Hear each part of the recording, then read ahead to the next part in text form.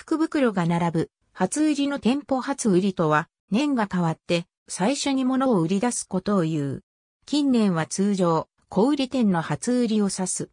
通常の営業と異なり、その年1年間の運試しの意味合いを兼ねた福袋が販売されることが多い。その日に買い物をすることを発売などと呼ぶ。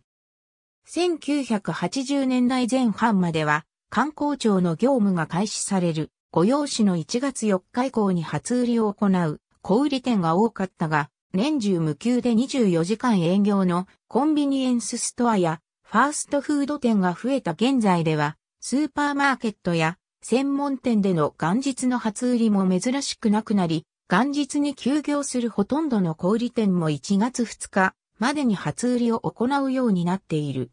ファッションビルや百貨店などでは近年初売りの後に冬のバーゲンセールを行うケースも増えていて、店側は正月返上で準備に追われる。2019年における平成から令和への改元においても改元に伴う令和の初売りを行う店舗が多く存在した。明治時代の例えば魚菓子の初売りは、現代以上の賑わいだった。魚菓子の営業は1年のうち1月1日のみが休みで1月2日に初売りをした。店先に積み上げた鯛、マグロ、タコなどを求めに、料理屋の主人や小売りの商人がいわば霧で詰めかけた。その数は数万人と言われる。